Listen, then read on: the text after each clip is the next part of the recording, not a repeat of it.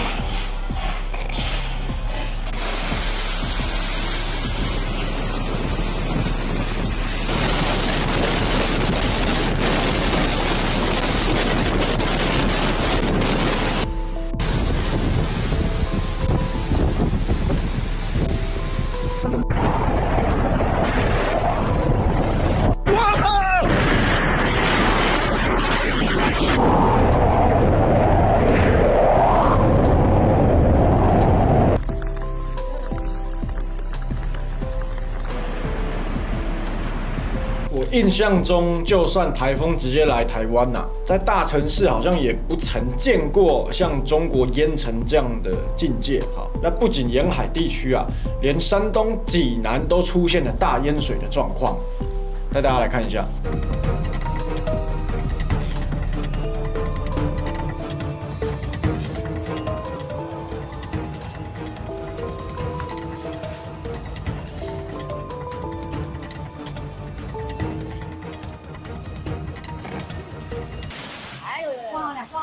这太扯了吧！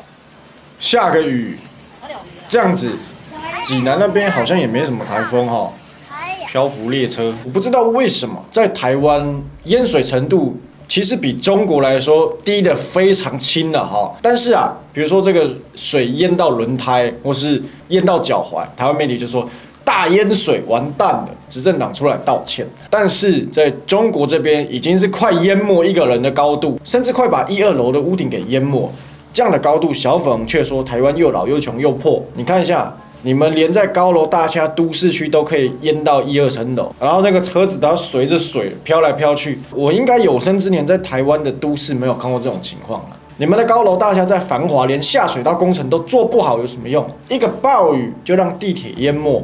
还没台风哦，你们地铁设计就是有问题嘛？虽然台湾二十年前的捷运也有大淹水，但那是二十年前的事情。我们的捷运设计比起你们的捷运设计，我们有减缓淹水的流速，我们要用高低差去设计。如果大淹水、大暴雨的话，我们让它这个时间可以更延缓。但是我们二十年前那一次捷运大淹水，哈，规模还是输郑州地铁你没有印象这几年台湾有哪个大城市被水淹到像刚影片看到那样吗？如果没有的话，小粉我在靠腰什么？过几天还有一个台风绕过台湾直扑中国，少打嘴炮，赶快做好防台准备了哈。而就在成都市大运开幕当天呢，自然是以中华台北的名义去参赛，因为比照奥会规定，而又是在中共的地盘。虽然中共各大媒体与微博上主持人都是说中国台北队来吃豆腐，但中共主办方啊，因为要遵循奥会规定，在场上的广播也没有说中国台北，字幕也没有打成中国台北，是 Chinese Taipei。我们可以看到，同样进场的香港跟澳门是打 China Hong Kong，还有中国澳门，这不一样的吧？但是我国队伍进场之后啊，虽然主持人广播的是。中华台北，但央视的主播依然念着中国台北，而中国的观众那是一个个高喊统一统一哇统一，而日本、美国、韩国队进场的时候啊，中国鸦雀无声，笑死，因为中间会穿插什么其他的一些国家嘛。你看日本进场，然后其他观众就下一个进场的是中国澳门，然后所有的中国观众哇哦，然后韩国进场，韩国进场完是这个。巴基斯坦，巴基斯坦跟一些中亚的国家进场的时候，小粉红中，呜，然后一堆小粉红在网络上说，这是民意，这是民心之所向，中国人民都是讨厌这几个国家的，我真的会笑死！你们从来不去，你们高喊高呼的那些国家旅游、游学、移民，你们小粉红如果有钱出国留学也好，移民也好，长居也好，你们选巴基斯坦、中亚、柬埔寨，还是你们选美国、日本、韩国？跟我说民心之所向。你们最爱移民旅游的国家就是欧美日韩呐，美国大使馆天天大排长龙，一堆中国人无时无刻都想透过复杂的面试签证、财力证明呐，什么什么学历证明呐。你跟我说你们最恨的是这些国家，还有什么比这个更人格分裂的事情呢？我建议诺兰呐，可以拍小粉红题材的电影，一定够烧脑的。如果你拍的话，小粉红你们是装傻还是真不知道？中共在前几天就要求这些参加开幕式的观众。一周要彩排两次，什么队伍进场要做什么样的反应，这个都特别交代过了。需八个小时过安检。二不能带包，不能带手机、平板等电子设备。三安检完成后原地待转，不能离开指定地点。上厕所不许，所以推荐准备足够的成人纸尿布。大国公民呐，按次序退场。最晚的退场时间预计是凌晨一点，所以头天需要保证休息。开幕式前一周有两次彩排，都需要参加。你们看一下，谁活在楚门的世界？什么都不知道。不仅如此啊，我国代表团长旗官廖宇任，小粉红啊，一开始纷纷被廖宇任甜美的外表给吸引了，还登上热搜。带大家来看一下热搜上说了些什么哈。中国台北棋手好可爱，好甜呐！我知道你们也看到了，我们中国台北的棋手妹妹好可爱呀！啊，还有人把她照片都给扒出来了哈。廖以任身高一六四，此次担任中国台北队队长，是活泼娇小的元气甜妹。这位弯弯小姐姐可能是第一次来，笑得好开心。台湾省萌妹子，导播还是很懂的嘛，没有给台湾旗帜镜头，就像年轻的 Hebe。小豆豆不懂就问，不应该是中国台湾代表团吗？标准说法是中华台北解放弯弯，刻不容缓。同胞好可爱，甜妹收复台湾，正派你前往福建亲自督战。台湾甜妹，祖国统一。但是啊，好景不长。廖宇任现在被小粉红出征抵制，因为小粉红给挖出来了。廖宇任曾经说过：“我要出国比赛了。”而这个出国指的就是到中国成都参加世大运，这就让小粉红抓住把柄。台湾来成都，你怎么可以说是出国呢？我们都是一中框架，都是一个中国，所以你要说跨省，甚至你说出境都可以。我真的会笑死，出境就是出国嘛，在那边玩什么文字游戏？不然你跟这个外国人说出境出国，还不都一个意思？你们的机场也是把台湾归在国际线呢，还想用出境代替玩文字游戏？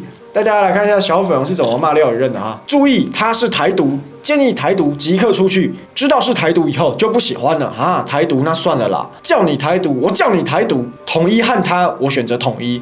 评论区真的是让我见识到了台独是什么都不知道，你们也是很可怜呐。台独要打 TD 的，中华民族打英文的 TD 啦啊！真没想到你们这么坏，你出现在电视上那一瞬间，大家都注意到你身上了，还上了微博热搜，结果却被大家说你是台独，很漂亮。可是台独的话很减分呢，有被晦气到。没想到你是这种台独丢脸的身份上热搜的，还蛮好笑的。到底是什么人觉得这位小姐姐？甜又好看的，没见过美女吗？台袜子今天早上集体努力刷存在感的样子真的很可怜。听说你出国了，别搞笑。台湾自古以来是中国不可分割的一部分，像你们这种台独我见多了，真的很抱歉。我们这边有不太理智的人对你进行人身攻击，希望不要对你们造成困扰。台湾队加油，但愿你们能成功。这个人应该是明白人哦，已经妥协到只用中华台北拿奥迪多一圈的这个不知道什么鬼的旗帜去比赛。这样也不行呢，连在台湾都不能说自己是台湾人，要说自己是中国人，出国这个词都还不能讲，不表态都不行啊，还要被逼表态。不仅如此啊，一位就职于四川商务厅的学者，现居马来西亚，我也是觉得很奇怪了，估计他的资产应该在新加坡之类的哈。然后呢，他爱党爱国，发文痛骂欧美日韩台。带大家来看一下他痛骂了些什么。有朋自远方来，不亦乐乎。前提是朋友。对于日本、美国这种不要脸的国家，沉默已经是很给脸的。没集体喊“乐色滚回去”就好了。大运会应该跟日本整点福岛专供食品和饮用水。不习惯吃我们四川美食，影响比赛发挥就不好了。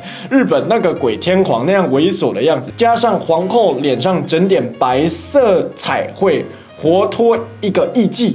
另外，蔡英文咋不来举旗呢？哇，还敢讲日本这个核废水的东西啊？你们中国不排核废水吗？你们中国的核废水的标准低于日本的六倍之多啊！啊，你们是不是吃？你们吃完了怎么样了？科技鱼很活啊，还笑日本少你六倍的？这个就是中国学者说出来的话，我真的会笑死。这是不是跟我们一般在网络上遇到的小粉红一个鸟样？还学者嘞？难道在网络上跟我们呛的小粉红都是学者吗？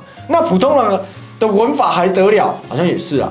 我也遇过很多文法真的是乱七八糟、错别字一堆的小粉哦。这个主语、副词啊、动词啊，这个语法乱七八糟，哇！